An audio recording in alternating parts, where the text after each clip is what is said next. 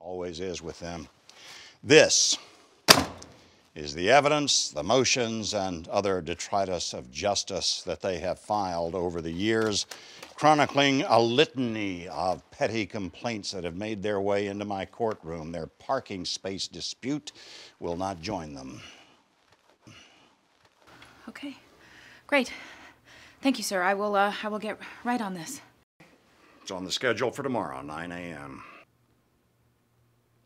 What, 9 a.m. sir? These guys are clearly working out some relationship mess through the courts. You you can't give me one day to fix this. Yes, I can. No, you can't.